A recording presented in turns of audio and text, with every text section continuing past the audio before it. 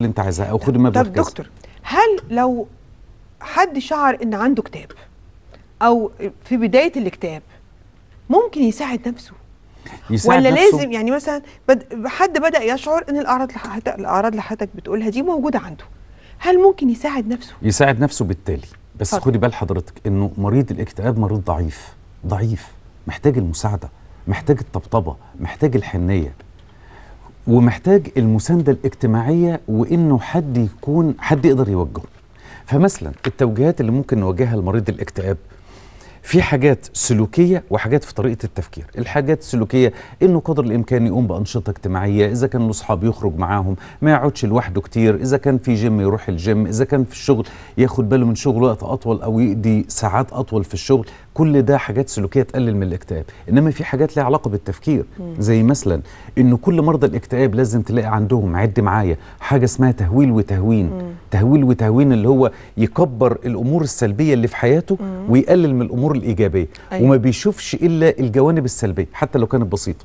يعني مثلا زي ما بقول لحضرتك أكثر الناس عرضة للاكتئاب هم أصحاب الأمور ال ال ال يعني ال الناس المرتفعين اقتصاديا واجتماعيا وتعليميا لأنه ممكن يشوف حياته من زاوية ضيقة جدا أو سلبية سلبية في حياته ويفضل طول الوقت مركز عليها. السلبية اللي في حياته ديت ممكن يكون عدم قدرة على الاعتراض على مديره في العمل. ويفضل طول الوقت مركز على السلبية دي. أيوة. أو سلبية فيما يخص علاقته الأسرية.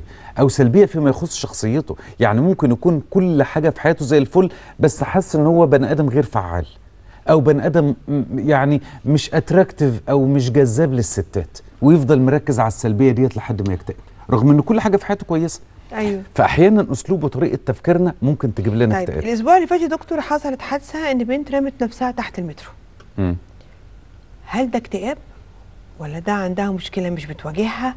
كل كل حالات الانتحار كل. حالات الانتحار لازم يسبقها نوبة اكتئابية. كل آه، حالات يعني الانتحار. أكيد كانت هي عندها اكتئاب. لازم يسبقها نوبة اكتئابية. لكن ما فيش يا دكتور حد يتضايق يقول لك خلاص هقف قدام القطر. ما هو لازم تكون نوبة اكتئابية. لا. أو مرض اكتئاب. لا. حصل حدث اختلفوا اختلاف كبير قوي خناقة كبرت قوي وما قدرش وحدث. ووصل من العصبية.